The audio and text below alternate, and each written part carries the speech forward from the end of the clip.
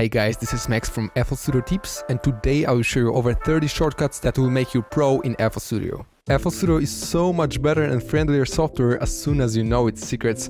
That's exactly why we made our full beginner start to finish course, after which you will know FL Studio inside out. But even if you're using FL for years, I guarantee you will get two times more efficient after today's video. So let's get started. One of my favorites, middle click. Simply hold and drag to pan your view around your project amazing one. Control T, but not in the playlist, but anywhere else, will disable and enable typing keyboard to piano keyboard. Of course, you can play the sample as on MIDI keyboard, but if you toggle it, now you can choose every of those tools without the need to click and aim for it here.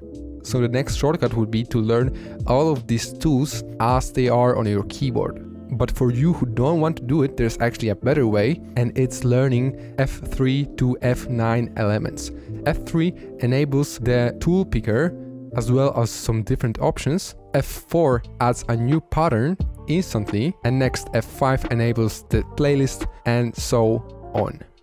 As soon as you know it, you won't need to aim for those buttons up there. Also, opened windows you can change using tab button. And as you can see, we have a lot of VST open and F12 will let us close them all at once. That's pretty crucial as well, especially when you're opening the project and it loads all of them at once it sometimes can crash your FL Studio. Control L in the channel rack to automatically apply the insert to new mixer track. Also you can automatically assign it to new instrument track and it will automatically save you a lot of work to keep things clean. When you open your project and made slight differences and you don't want to screw up the last version, you can simply hit Control N and it already saved it as new version underscore 2. Great feature as well. Control Alt Insert. If you want to add space in between of your patterns and automations, simply mark your timeline and hit the shortcut to make it move the amount you set up in here. Equally crucial trick is about just the insert button. If you want to cut the pattern or automation in half, simply hover your mouse over and hit insert to cut it in the places where you hit insert key. I cannot imagine living with that one. If you want to be more precise though, simply hit right shift and drag over to cut it way more quickly than choosing the knife here or here. Way better. A lot of people don't know about that one, but if you drag one sample and want it to be more smooth, simply hold left alt and you can make smoother moves. Next one that saved my life hundreds of times is Shift M that toggles the way that we cut the samples. Untoggled is simply cutting, toggled is stretching. Next insane one, Shift I. Imagine that you want to mark everything but your active selection. Simply hit Shift I and it will do it for you. Works also in the MIDI. If you mark something holding control as usually and hit Alt plus M, it will mute it.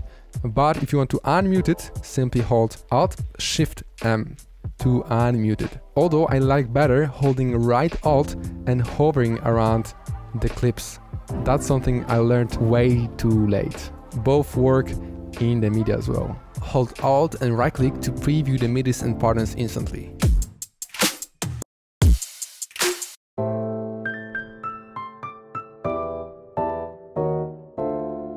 These guys here are extremely helpful, especially when you are arranging stuff. Hit Ctrl plus T to add ones and rename it as you want.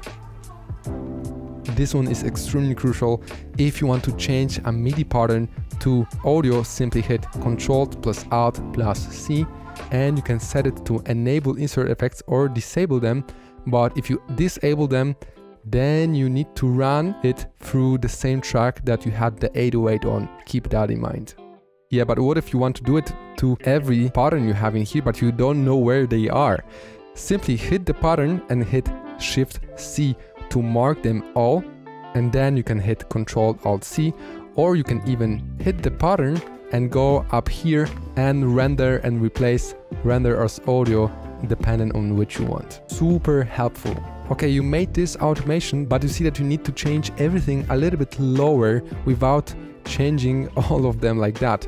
Simply go to articulator tools, and scale levels. You can do it right here. The shortcut to it works in piano roll, simply hit Alt plus X. It will work on the velocity or whichever control you've chosen here. Control B, duplicate, according to your selection. So if you select more than that, it will duplicate it like that. It's hard to make music without that one. Shift and scroll lets you change the order in the mixer channel or in the channel rack. If you want to mark more than one inserts in your mixer, simply hit Ctrl and drag it over or hold Ctrl and Shift to mark them out of order. And now next one is about holding control when routing in your mixer. It will route all of them to this track only. If you did it without holding control, it will simply just link them all without unlinking from the master. Do not forget about that. What if you wanted to delete space? That's crazy. Simply mark the timeline and hit Control Delete. It will delete everything with the time. Extremely helpful again. Tired of a lot of inserts? If you know that you don't use that one, simply hit Alt plus Delete to delete them all. But you cannot undo it, keep that in mind. Alt plus O enables LFO. Did you even know about the existence of LFO in MIDI? That one is crazy. A lot of people ask me for that one. Lets you record and place just specific mixer tracks. You arm it and hit Alt plus R, start it, and it will put it right here so you can actually disable the whole bus. If you want to listen only to sidechain, if you solo it, you don't hear anything because you need to turn on the rest that are connected to it. Simply hold left alt to solo everything that is connected to the sidechain. One of my favorites, imagine that you have really, really tiny offset in the patterns. That happens especially when you're duplicating stuff. Simply mark them all and hit Shift Q. It will snap them to the grid and you'll be able to place them properly. That one is very, very important to know. Shift plus R in MIDI lets you randomly select notes down is super fun. If you combine them with Alt plus U, you can very very quickly chop them up. Pretty fun tool. Shift plus M lets you mark random groups.